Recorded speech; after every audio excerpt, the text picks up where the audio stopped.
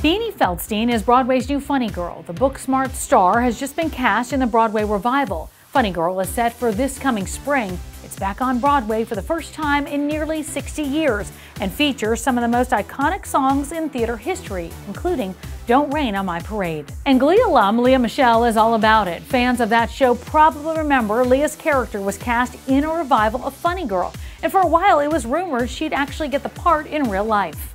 But as soon as news broke that Beanie landed the role, Lea threw in her full support, giving her a big shout out on Instagram. Paul Wontorek caught up with Lea Michele. Get ready for me, love, cause I'm a comer. I simply gotta march, my heart's a drama. Don't bring around a cloud to rain on my Theater fans fell in love with Lea Michele for her star turn as Rachel Berry on TV's Glee, and of course, her incredible work in the Tony winning musical Spring Awakening. I met up with Lea at her old stomping grounds right here at the Eugene O'Neill Theater to talk all things Broadway. So, 15 years ago, Yeah.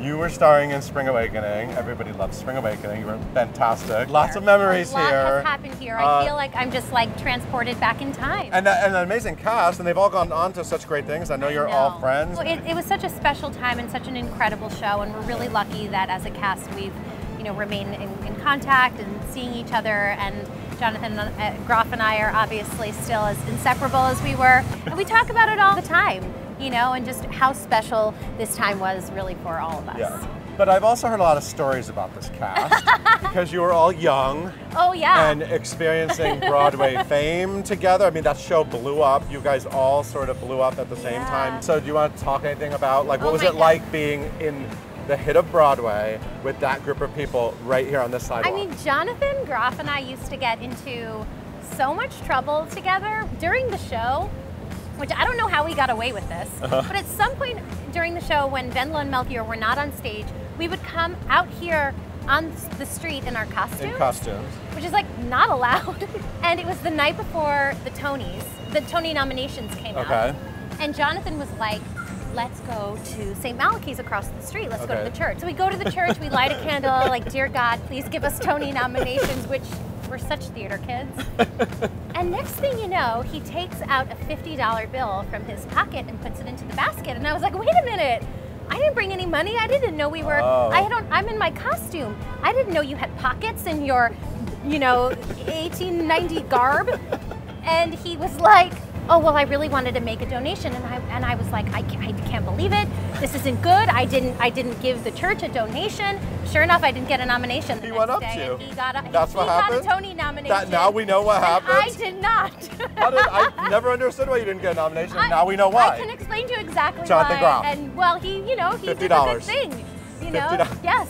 Yeah, you have such an interesting career because you got your start in the theater and then you got to become famous playing A theater loving Rachel and like Glee and you got to like sing all these show tunes and, and it was so Broadway adjacent. Totally. Yeah, so- it was meant to be because I think that like all of that experience of being a child on Broadway certainly fueled Rachel Berry. I, I was Yeah, able to use a lot of that Yeah. like experience and, and my love for theater. But it's it's um, incredible to be able to you know move off to LA and then come back and be back in my city and you know seeing shows again and.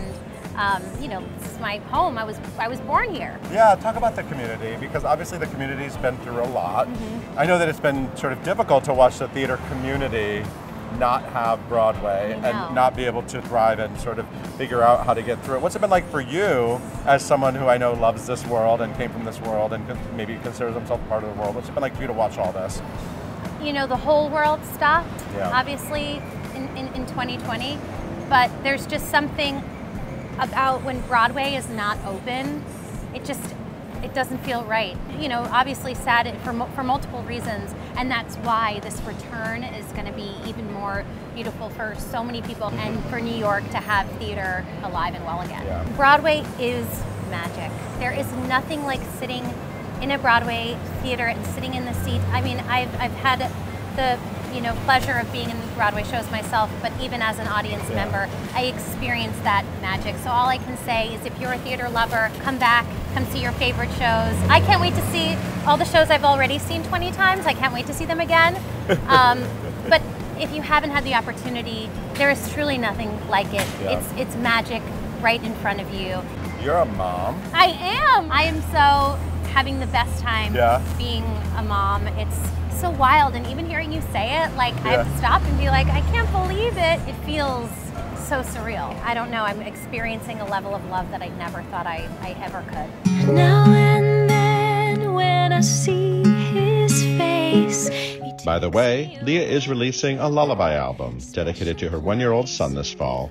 It's called Forever, and Lea is covering everything from Guns N' Roses to Christina Perri.